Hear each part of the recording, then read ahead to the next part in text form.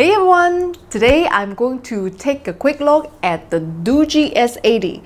People have been asking me to review Chinese phones for a while, but honestly, so many other YouTube channels are doing it, I wasn't that interested.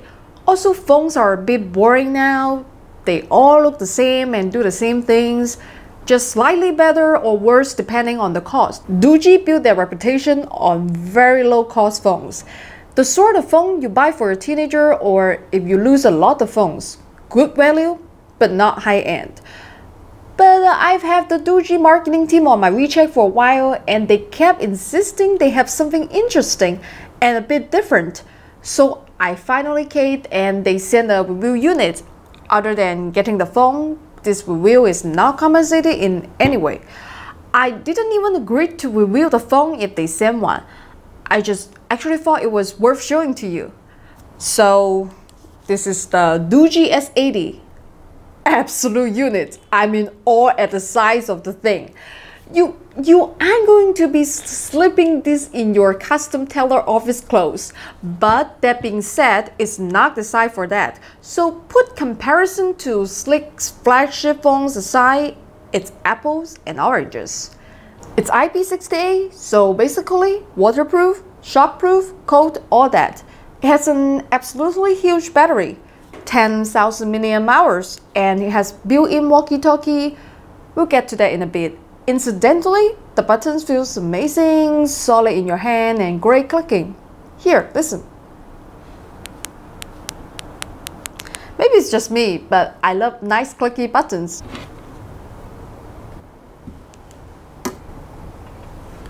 It weighs about 395 grams, which is a lot, but for comparison, I normally carry my OnePlus 5 with a 10,000 mAh battery, which weighs slightly more. That's just me though. I would rather have the battery life. Weight is never my main concern, since I carry my phone in my bag anyway. Those of you with pockets, it may be a bigger deal. And if anyone messes with you,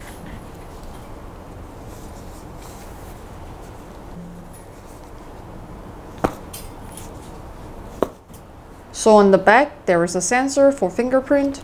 There's not much to see, it's basically stock Android Oreo, which is great, no weird skin or anything. It comes with Google service and all that, it's all installed unlike some Chinese phones. Now, let's go into Instagram. It's snappy and responsive, which frankly, I care about it more than specs. Now let's go to YouTube. And I was checking on my friend's video. In this video, I'm talking about 3D printer scams and why you guys need to stop falling. Okay, so the built-in speaker is very loud. If that's a feature for you, it's great. For it, let's get started. Yep, it is very loud. But it's good when I watch video, I can just, you know, play it loud in my room and nobody can hear it, which is okay.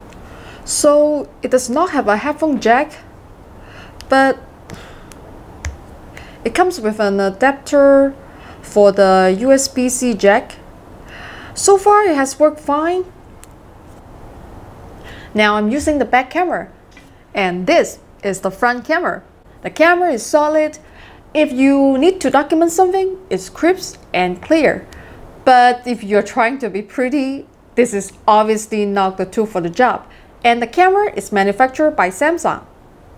One of the things that makes the phone cool and kind of cyberpunk is it also has a built-in amateur radio. It uses the European DMR standard. It's a serious radio, not like a kid's walkie-talkie or something. So as far as I know, you need a license to use it in the US, but I'm told it's pretty simple to get. There's a physical push to talk button on the side. Hello, hello. It looks pretty interesting. So there are some hardware hackers working on reverse engineering it and seeing what else it can do. If you don't plan on using it, you can just unscrew the antenna.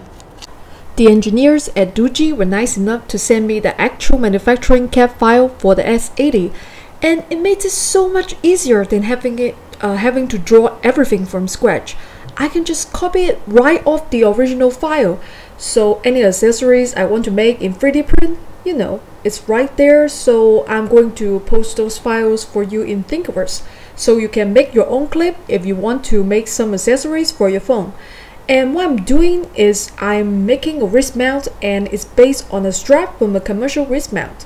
It's a mobile computer I will put the link to the page so you know what part number it is in the description box. So this is just Tinkercad. It's a free CAD program, anybody can use it. It is designed for kids. I still use it for lots of stuff. Even though I do like MoiCAD, which is the other CAD program you saw me use before. But Tinkercad is really simple, so I'm just gonna show you in this program how to add something to the phone case.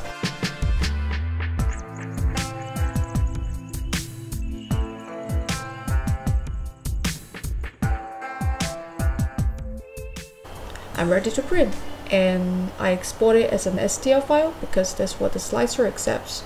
I'm just gonna drop it in the slicing program, get it ready for the 3D printer. And now I'm printing it on my Creality 3D CR10S. You can see a little bit of the support failed, but it doesn't matter because the print still turned out fine and there was more than enough support.